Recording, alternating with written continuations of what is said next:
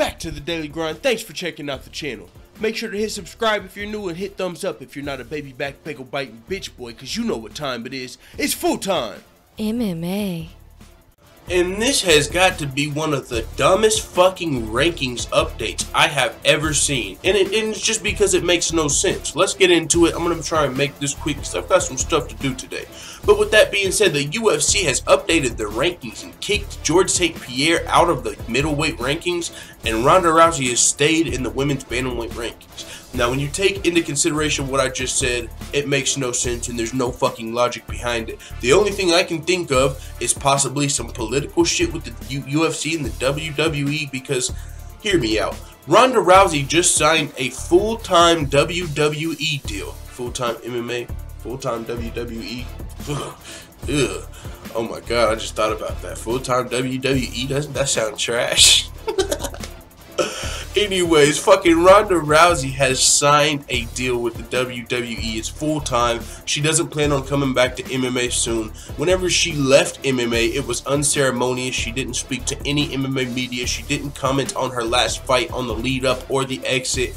Hell, I don't even think we talked to Ronda Rousey after losing to Holly Holm, but maybe one time. Maybe she showed up on like Ellen DeGeneres or, you know, the, the stuff out of touch from most MMA fighters. Most MMA fighters aren't getting on Ellen and Jimmy Fallon and all of these crazy places Ronda Rousey has been. So maybe that's where she decided, decided to talk about it. But honestly, either way you look at that, Ronda Rousey seems to be done with MMA and even you know though she hasn't officially retired even though she's not out of the USADA drug testing pool I don't know why not. She's not going to fight again in MMA she hasn't fought it's funny because she actually fought more recently than Conor McGregor in MMA Ronda Rousey fought at UFC 207 Conor McGregor fought at UFC 205 who'd have thunk but either way as far as these rankings are concerned that doesn't matter when you talk about Georges St. fucking Pierre who was just the middleweight champion a month ago. Hello? What the fuck? Georges St. Pierre was just the middleweight champion a month and a half ago, and now he's not even ranked up there because he got colitis. How the fuck is that fair? Michael Bisping, the guy that Georges St. Pierre just knocked down and choked out and then got knocked out by Kelvin Gastelum shortly after. I'm fine. Love Michael Bisping. One of my favorite personalities in the sport. But how are you going to have, if you're starting to kick niggas out like Georges St. Pierre, boom, Michael Bisping off the rankings. Boom, David Branch off the rankings. Boom, Uriah Hall. Boom, Vitor Belfort. Boom, Brad Tavares. Boom! I don't want to see none of these niggas over GSP, bro. How do you have GSP number six on pound for pound, but kick him all the way off the fucking middleweight rankings?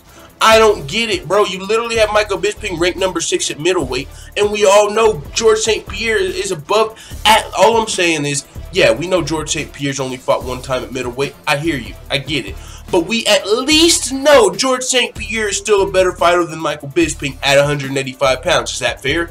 So whatever you guys want to do with these middleweight rankings, and I honestly don't know who the fuck does these rankings, but I know they say it's not the UFC. There's not like one person you can pinpoint to. They're always like, you know who does the rankings? No, but we need to figure it the fuck out because who's doing the rankings to leave Ronda Rousey in the rankings? If this person doing the rankings isn't Dana White, wouldn't that be crazy if Dana White was in the office somewhere doing the rankings? I know he's not, but I'm just saying, how are some of these rankings kind of biased to what Dana White, you know, is cool with? And what I mean by that is Dana White was pissed off at Georges St. Pierre. If you think about he said, look, he didn't want to fight Woodley. He didn't want to fight this guy. He he only wanted to fight Bisping. Then he came and fucking left like I knew he would. And I thought I was going to be pissed off about it. But since I saw it coming, I'm not even pissed. But either way, Dana White did not like that shit from GSP. So Dana White would be fine with GSP getting kicked out of the rankings. On the other hand, Dana White is fine with Ronda Rousey in the WWE. We haven't heard Dana White say anything bad about Ronda Rousey. Like, yeah, she never spoke to the media. She just dipped. She signed with the WWE. He's completely fine with that, or we would have heard more of a stink from Dana White. I, I haven't heard Dana White say one bad thing about Ronda Rousey or the WWE since this has happened. So, with that being said, Dana White's cool with Ronda Rousey going to the WWE, and which means he's cool with her staying on the rankings, right? I mean, it doesn't necessarily mean that, but what I'm saying is, I'm sure if Ronda Rousey was kicked out of the women's bantamweight rankings, that would have to be ran by Dana White in my mind. Maybe not now since there's a new ownership, But either way, you get the fucking point. How is Ronda Rousey, somebody who's signed with a whole nother organization and hasn't fought since UFC 207, kicked out of the rankings, or not kicked out of the rankings, when GSP is? And we can take it to Conor McGregor. Conor McGregor hasn't fought in MMA since UFC 207. He's still sitting way up there high on the, you know, totem pole of number two ranked pound for pound fighter on the planet. He hasn't been stripped. He hasn't vacated. So I guess GSP should have sat around with his belt if he didn't want kicked off the rankings. GSP decided to do a good thing. He thought, hey, I don't want to hold up this division. I'm sick. I'm not going to be back for a while. Take the belt. And what did he get rewarded for? For making what you would might think is the right decision, not tying up a division. How did he get rewarded for not tying up a division? By getting kicked out of the rankings. How does Conor McGregor get rewarded for tying up the division? Sitting on top of the rankings. So you see what that be. I don't understand what's going on here. Just seems like Georges St. Pierre's getting the short end of the stick.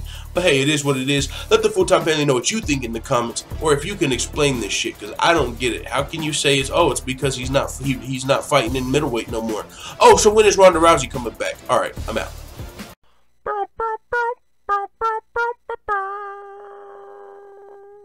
Da da da da da. It's the motherfucking DL double G.